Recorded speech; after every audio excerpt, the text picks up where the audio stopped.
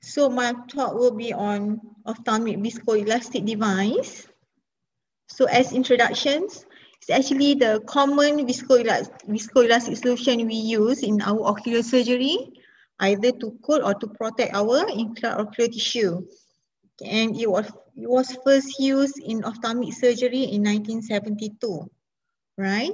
So the indications will be in cataract surgeries, uh, corneal surgeries, and PK, glaucoma surgeries, uh, especially the glaucoma filtering surgeries, the, our anterior segment reconstructions, and also the posterior, posterior segment surgeries as in vitreoretinal surgery. Yeah?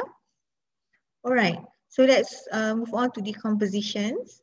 Um, it contains sodium hyaluronate, which is a biopolymer in connective tissue uh, which is also uh, uh, present in uh, present in aqueous and vitreous.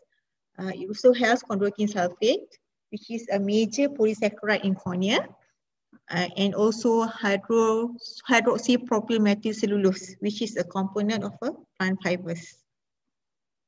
Okay, okay, right.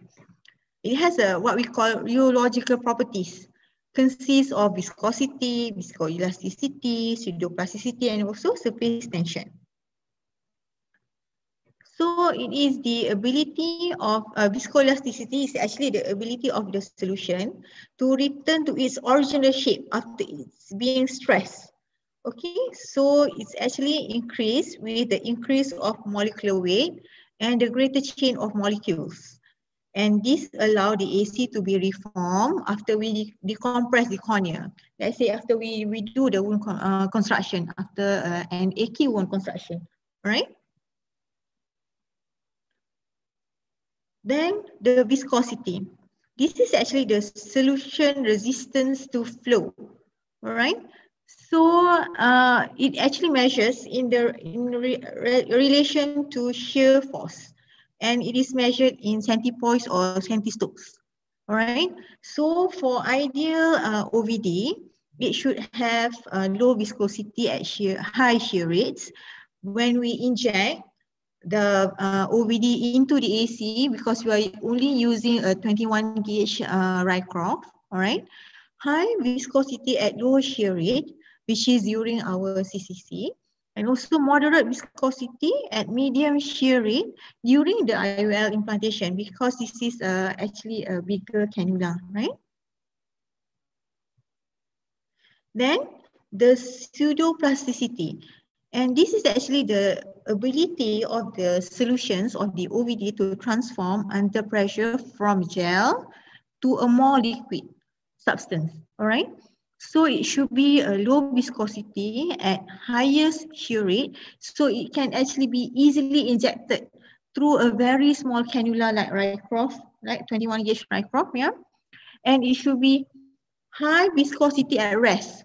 So it helps to maintain the AC, especially uh, during CCC and also when we want to inject in our IOL, right?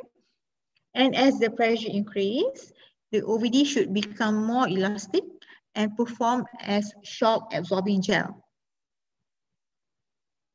Then the surface, uh, surface tension, all right? This is the, it's very easy, it's the coating ability of an OVD. So it's actually determined by uh, the contact tissue. It's actually uh, determined by the surface tension of the OVD of contact tissue, uh, surgical instrument, and the IOL as well. So if you notice, if you put on um, Kilon GV, right, on, onto a cornea, then you will see it's just like a blob of gel. But when you apply, um, let's say something which is more dispersive like HPMC, like um, Aurovisc, you can see that it actually coats the epithelium, coats the cornea. Okay, this is the, because of uh, where the more dispersive it is, the surface tension is is lower, all right?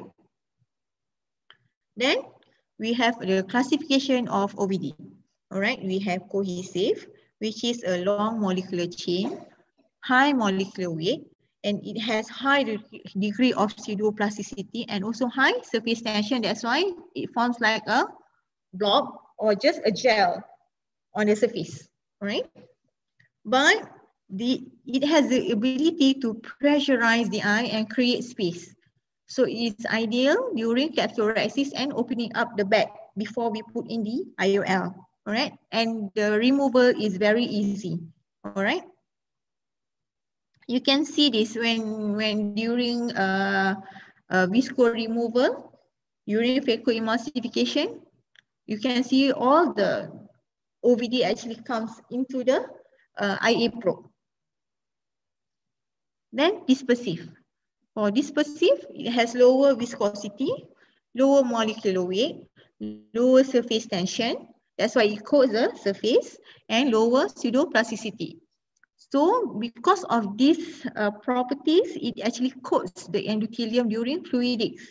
So it actually protects the endothelium during our phaco, during the heat. Uh, uh, I mean protects uh, the, the endothelium from the heat of phaco. Okay, that's why this is actually ideal to use in combination with cohesive OVD for soft shell technique and lubrication of the injector cartridge of uh, during the IOL insertion. Okay. For example, we have uh, endocoat, we have viscoat, all right, and ocucoat. And we now we have a lot of combination OVD. In a single uh, syringe, they combine the cohesive and dispersive.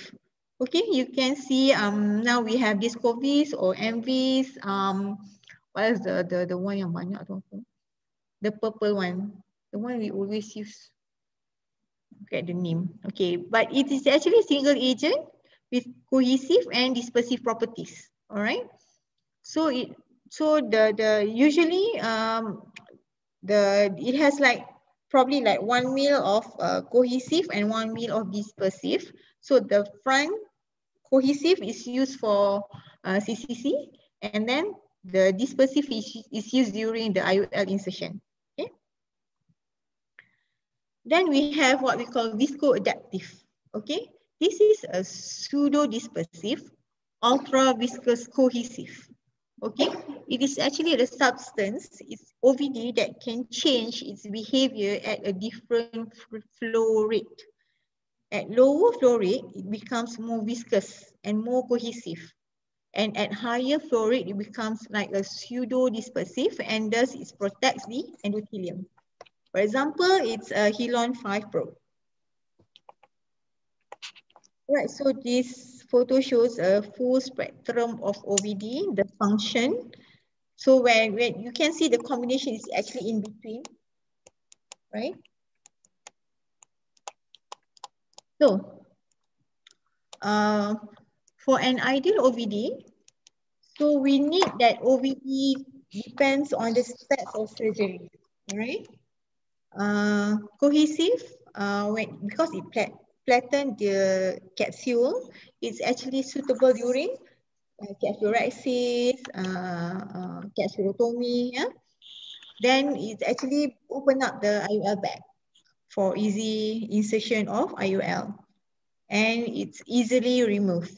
For dispersive, uh, the function is uh, to protect the endothelium and if let's say you have uh, PCRAN and you, you want the, to tamponade the vitreous, you use dispersive uh, uh OVD. Yeah? And also for lubrication of the IOL cartridge. It should be non-toxic. It should be clear of, clear of course and is the ease of infusion. Okay. And what's more, and now we have a combination of OVD with the anesthetic agent. Uh, I think this is new. It's called Visthesia. It's with the lidocaine 2%, uh, non-preserved uh, lidocaine, right? Which is very good because it actually, besides providing the all the the properties of OVD, it also provides anesthesia. All right, complications. If we if the, the removal of OVD is incomplete, then we will expect elevation of IOP because of the large uh, molecule of OVD will cause mechanical resistance to the trabecular meshwork. And this will actually reduce outflow facility. Okay. Um, usually for the lower viscosities and lower molecular weight OVDs, the, the, this is actually quite less, much less. And also it can actually resolve in about 24 to 72 hours. All right. Uh, the other rare complications like uh, band keratopathy, all right, this is because of the chondroitin sulfate uh, containing OVDs and also what we call a capsular distension syndrome. Okay, it's actually when it actually entrapped behind the IUL as a, a AC gastroacids at student anterior surface of IUL for 360, uh, 360 degrees. Okay, all right. And it and when it denatures, the IUL is forced and pressurized the capsule. All right, and then the capsule will be distended posteriorly.